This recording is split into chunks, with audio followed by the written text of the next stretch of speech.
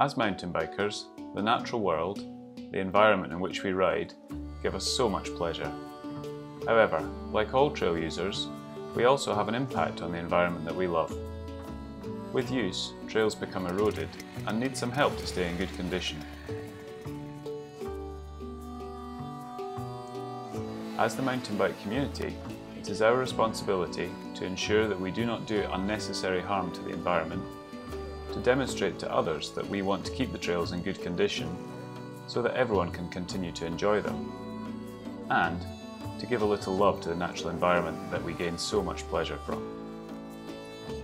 If we work together, in an organised and safe way, we can achieve so much. We cleared this trail of over 100 fallen trees in just one day meaning it can be enjoyed again by everyone.